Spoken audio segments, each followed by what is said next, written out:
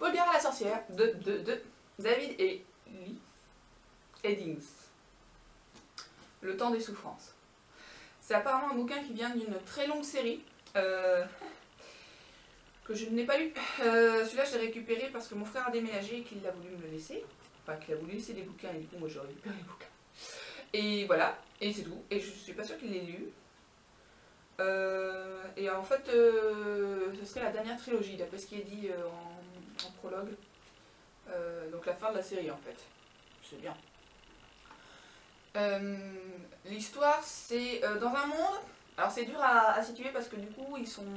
Comme c'est tout un univers qui dure depuis très longtemps, il y a des précisions qui ne sont pas refaites et du coup, il y a des personnages, des trucs qui sont dits qui partent du principe qu'on a lu ceux d'avant et que du coup on découvre voilà quoi. Enfin pour ceux qui commencent là. Et hum, donc moi j'étais un peu perdue au début. Ça n'empêche pas, n'empêche euh, que. Ça n'empêche pas, n'empêche. Que. qu'il est bien. L'histoire du coup c'est euh, Paul Gara donc, euh, qui raconte euh, sa vie. Et donc on comprend que Paul Gara c'est pas une sorcière, mais c'est en quelque sorte une élue des dieux. Enfin, sa famille, apparemment, sont comme les porte-paroles d'un dieu en particulier. Au fur et à mesure, on comprend que dans ce monde-là, il y a différents peuples, du coup, et chacun a ses, son dieu, en fait. Et ces dieux-là, euh, enfin, il n'y a aucun doute sur leur existence, puisqu'ils viennent parler donc à leur élu assez régulièrement, ou euh, des choses comme ça. Et ils sont tous, bien sûr, il y a le mauvais frère hein, dans les dieux, il y a le mauvais frère qui, essaie de buter tout le monde. Euh, alors eux, c'est euh, le dieu Aldour, il me semble. Euh, qui, du coup, elle est la première femme, je crois, qui a été élue par lui.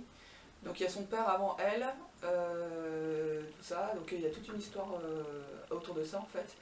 Mais euh, ici, on se concentre donc principalement sur Paul Gara, qui nous raconte son enfance. donc le tome 1, ça finit, il me semble qu'elle a 300 ans. Parce qu'elle a une très longue vie en fait, comme toute sa famille. Donc on voit un peu toutes les, toutes les missions qu'elle a eues au fur et à mesure du temps, comment elle s'est formée au niveau de ses pouvoirs et tout ça. Et franchement c'était pas mal intéressant, Euh, surtout sur une si longue période. Mais euh, oui bien sûr c'est résumé, hein, voilà. Et euh, derrière tout ça en fait il y a un truc que j'ai pas trop compris, en fait ils, apprennent qu'il y a une prophétie. Et du coup, ils recueillent les, différents. Il y a trois. Il y a un idiot du village, il y a un savant fou, enfin, je sais plus quoi, qui ont sorti des trucs. Et, euh, pour eux, c'est la vraie prophétie, donc ils l'ont recueilli et ils bossent dessus, en fait, euh, lorsqu'ils ont du temps libre. Sur cette prophétie, en fait, euh, ils savent pas encore exactement. euh, Enfin, ils savent que Paul Cara a un rôle à y jouer, mais pas exactement ce qu'il aura à y faire, en fait. Donc euh, voilà, donc là, je, tome 1, ça, n'arrive pas jusque-là. Mais il, est, il est pas mal du tout en fait. En le lisant, je me suis dit, tiens, je dirais bien le, début, le, premier tome. Au niveau, au niveau de, des personnages, Paul Gara, euh, je l'ai bien aimé par moments, mais je l'ai moins bien aimé par d'autres moments. En même temps, elle a 300 ans, qu'est-ce que tu veux qu'elle nous plaise tout le temps? Quand elle est adolescente, en fait, elle a ce passage, genre. euh, enfin, c'est la façon dont c'est écrit que ça, ça me saoule. Genre, toutes les filles éprouvent le besoin euh, d'attirer l'attention sur elles, d'être belles et tout. euh, donc voilà, c'est vraiment un, un truc texto comme ça. Euh, ça me saoule qu'on considère que toutes les filles sont pareilles. Je suis sûre que ça saoulerait les garçons qu'on dise que tous les garçons euh, à 15 ans pensent qu'aux bagnoles, c'est un peu, ouais, non. Donc voilà, donc euh, c'est le passage qui m'a saoulé, quoi. Du coup, elle drague tous les mecs et tout ça, elle est trop fière, et puis après, bah, elle se calme, quoi. Et elle repense à sa mission, mais de manière générale, je l'ai bien aimé, en fait.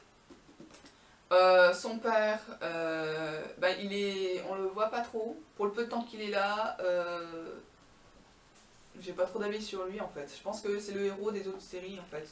Donc, je sais pas. Elle, elle l'aime pas beaucoup au début. Et puis bon, au bout d'un moment, quelques siècles plus tard, ça va. Et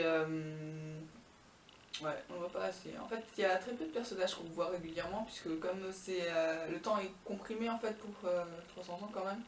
Euh, elle rencontre euh, bien sûr différents personnages. euh, de manière générale, je crois que j'aime. Il n'y a pas de personnage que j'ai pas aimé en fait. Que j'ai vraiment. Ça m'a débecté, tu vois. De manière générale, j'ai bien aimé les personnages. Le, le, le, le, le, le, le, le, Alors après, voilà, c'est pas vraiment... comment dirais Un truc d'aventure ou quoi, c'est plutôt des intrigues politiques ou des trucs comme ça en fait. Euh, ils doivent gérer les tensions entre les différents peuples, faire en sorte que quelqu'un n'éclate pas. Et au bout d'un moment, Polgara, elle se concentre sur une région et tout ça pendant plusieurs siècles en fait. vraiment... Voilà, mais c'est bien foutu. Donc oui, Polgar à la sorcière, je l'ai bien aimé. Euh, je, un jour, quand j'aurai des sous, j'achèterai le début. Mais euh, à la fin, elle m'a saoulé aussi, c'est ça. Parce qu'à la fin, je me suis dit non, je vais peut-être pas lire la suite. Euh, à la fin, elle m'a saoulé aussi parce qu'elle tombe amoureuse. Et j'ai rien contre les sentiments amoureux. S'ils sont pas chiants quand ils sont décrits. Là, c'est vraiment euh, mourons ensemble. Et non, non, ça je dis non. je suis pas d'accord. Mais euh, ouais, de manière générale, il est bien. Trois petits cochons, la famille ourson, tous ces contes, ces histoires, à jamais